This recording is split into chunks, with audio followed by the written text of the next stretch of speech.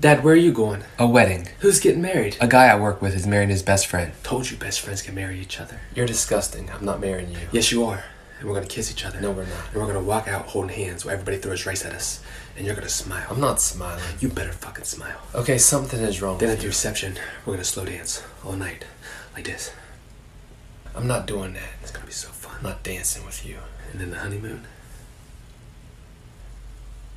I'm fucking the shit. Okay, stop.